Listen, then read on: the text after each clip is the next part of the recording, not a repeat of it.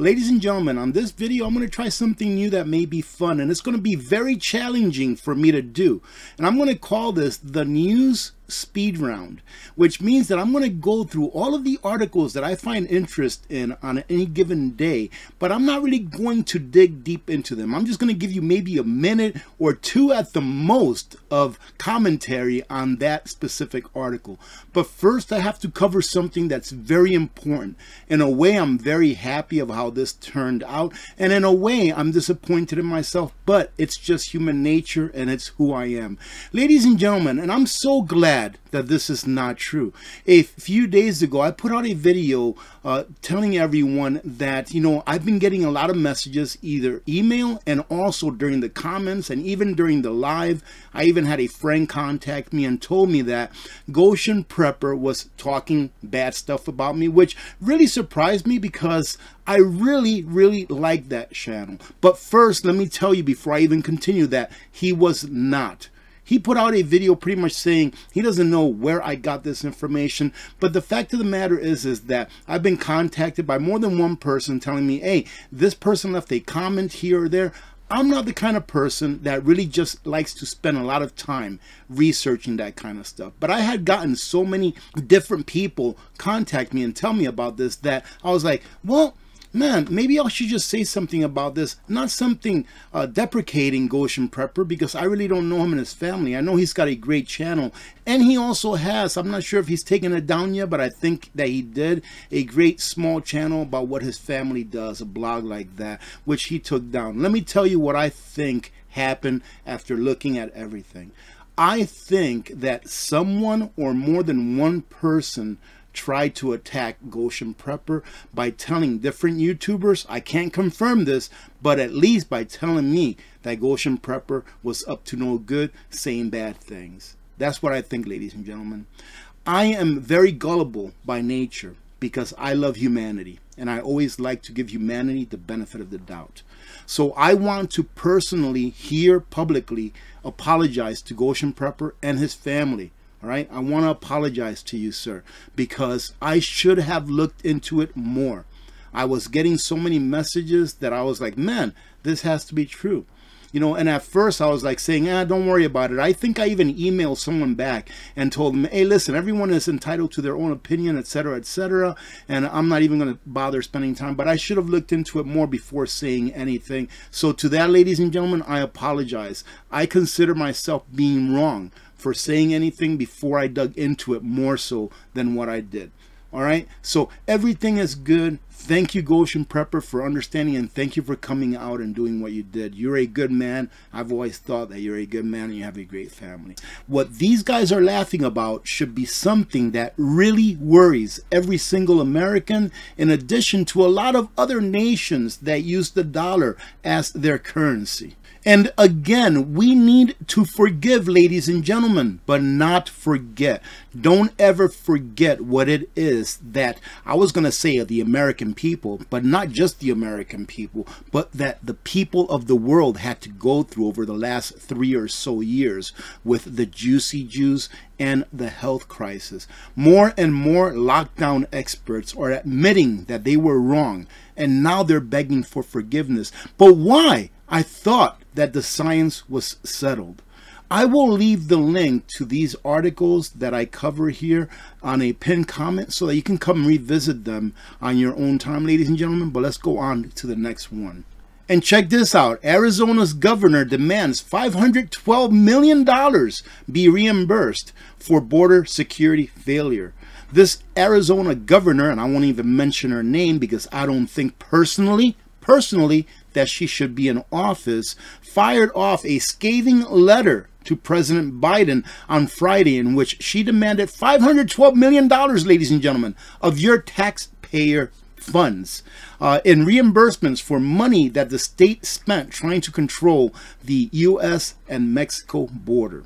She also asked this administration to immediately reassign the National Guard to the most vulnerable border regions in order to stem the flow of migrants into the United States. I thought that the governor has control of their own National Guard. Why are they asking the federal government, i.e., all of the American people, for their tax dollars to control a problem that they themselves created?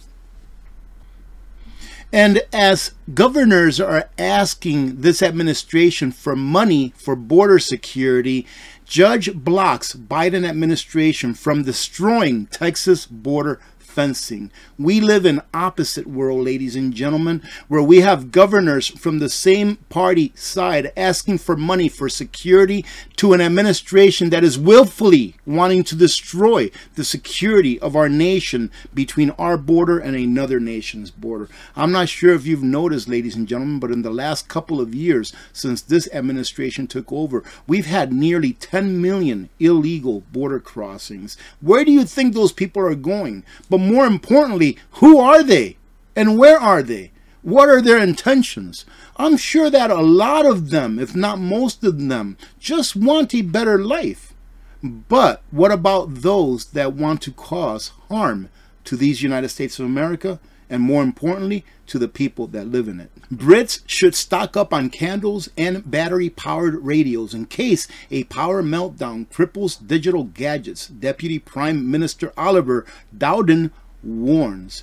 So more and more governments are coming forth and telling their people to prepare. But why now? That's the question.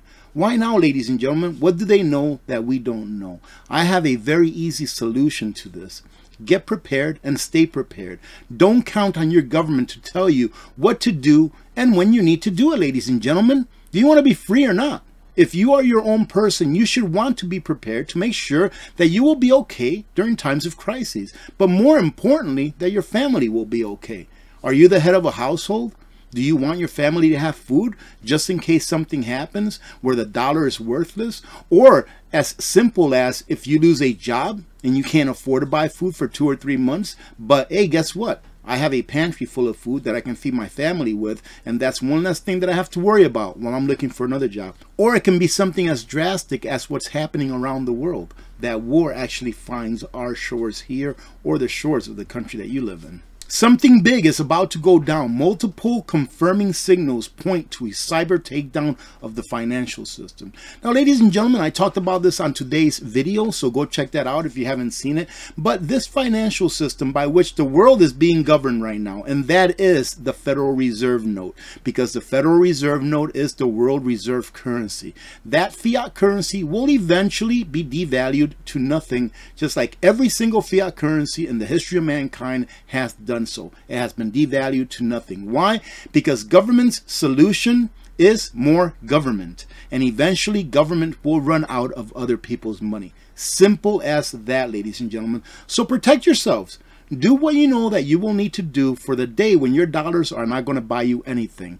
But remember also that when that does happen, the same government that put you in this predicament is going to say, hey, we're going to fix everything and we're going to hook you up with a CBDC which is going to be a tool that will be used to completely enslave humanity and or anyone that decides to use it. I don't even know why Al Gore is still significant, but he says that people having access, listen to this, this is how sick these people who want to be our rulers are, ladies and gentlemen.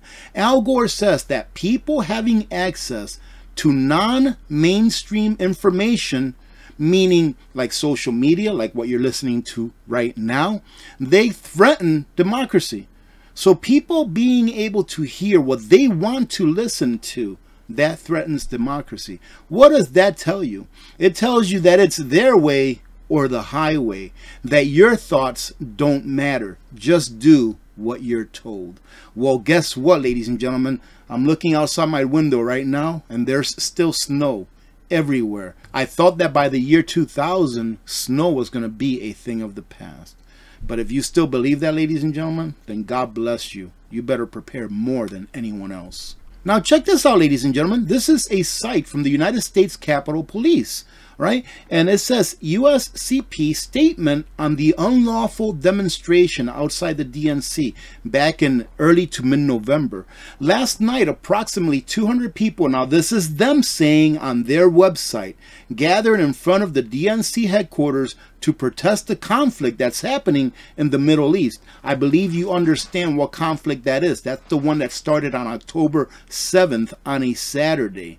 And from what I understand and watching some of the videos of this demonstration that was held outside the DNC, it was not very, well, let's say that it was just not very peaceful. And the reason that I bring this up, ladies and gentlemen, is because I am very certain, and I mean, we can take a look at this a year from now, that none of these 200 people, which I am very certain were captured on either video or their identity is known to the authorities, will spend any time in jail, at least any significant time. And that is why I say that we live in a two-tier justice system. Not only a two-tier justice system that involves those that are in the 1% and those those that are not, but also a two-tier justice system that involves those that want to push the narrative and those that are being used as the enforcers to push that narrative.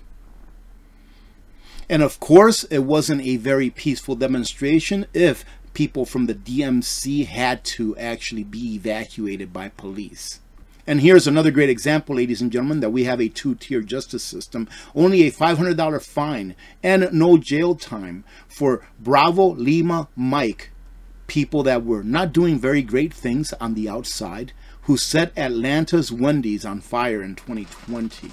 And of course, we do know that some of those that were involved in the J6 uh, are still in jail awaiting trial. What kind of justice is that? It's pretty disgusting, really, to say that we live in the freest nation in the world and look at this what's going on where we have political prisoners within our own walls where you really can't talk freely ladies and gentlemen. Someone like me I'm, I'm, a, I'm a nobody. I'm not known to anyone Right, I have a very small YouTube channel that not many people know about. I can pretty much say anything I want, and the only worry that I would have is probably to get demonetized or something like that. That would be my biggest worry.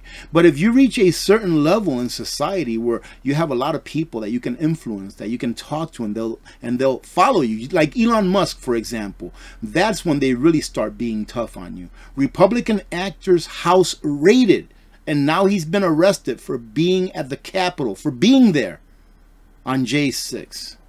Is that freedom? Now this should really worry you. This says America next. Brazil cuts welfare payments for families of kids who don't get the now for Brazil annual juicy juice. Think about that, ladies and gentlemen. Think about all of the people around the world of a certain age group really that are falling over and expiring, meaning that they're no longer on this physical earth, right? They're no longer walking around. And a lot of the blame goes to, well, some people say that a lot of the blame goes to maybe the juicy juice. I'm not a doctor or anything like that, right? But just think for yourselves and think of how many people have expired in the last few years that they never had any problems, any physical health problems or anything like that. And they just, they're no longer here.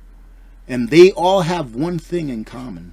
And one thing that I hope we never have in common, ladies and gentlemen, is that we have a CBDC. Brazil's CBDC pilot program allows the government to freeze funds adjust balances at a will. Goodness gracious, Stalin, Mao, the little man with the mustache, you know, Mussolini, all of these people, Castro, these people are now flipping over in their graves saying, goodness gracious, why could I not have had that when I was ruling as a dictator? Incredible, ladies and gentlemen. This will be the end, but in my opinion, if this does happen, that we have a CBDC worldwide or even within our nation here in the United States of America or Western nation, I believe that it will only be for a short time because people will very quickly realize that nothing is free and that what they've given up for their welfare or for their UBI and that CBDC and all the promises that the government made them has cost them all of their liberties. it has come to our attention that the new Brazilian central bank digital currency system contains hidden backdoor features allowing the Brazilian government to freeze people's funds and adjust their balances at will. You know what that means? Adjust your balance at will. It means that your labor is no longer yours. Because, for example, let's say that you worked for a $100. You did this or that for a $100. It goes into your CBDC, right? Into your wallet, electronic wallet. So you worked, let's say, five hours for that $100. So you made $20 an hour. Now, let's say that the government comes along and they say, we're going to reduce that $100 to $50. What's your labor worth? You never know what your labor is worth. You thought you knew what it was worth. You thought it was worth $20 an hour. But now, according to the government, that $100 that you earned for working five hours, making 20 bucks an hour, is no longer a 100 bucks. It's now 50.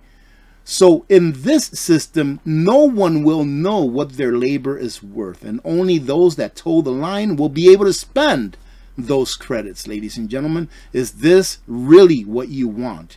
The people in Brazil are starting to find out now that, hey, this may not be a good idea because I have to allow them to do whatever they want to do with my labor because that money in that wallet represents your labor ladies and gentlemen that is what a fiat currency note today represents it's the number of minutes or hours that it took you to earn it and now they're going to be able to do whatever they want with that and just take a look at this for yourselves ladies and gentlemen it's all out there. It's just that it's not being allowed to be talked about on mainstream media. Right? Eventually, we will see so much of this that no one will be able to hide it. Now, having said that, I hope that you're proud of me. I think I did pretty good as far as going through these in a quick manner. And I will leave the link for these on a pinned comment so that you can revisit them, ladies and gentlemen. But having said that, if you didn't see my video from earlier today, go check it out. I think that you will get a lot out of it and you will be able to better prepare having watched that. In addition to that, if you didn't check out the video that I put out last Friday about three, I think it was Saturday that I put it out, about three things that you should always have in your vehicle. It was kind of like a glorified review video of three things that I think you ought to have in your vehicle and that are just really cool stuff. I hope that you have a great rest of your day, ladies and gentlemen. God bless every one of you. God bless America. I'm Alaska Prepper. I'm out.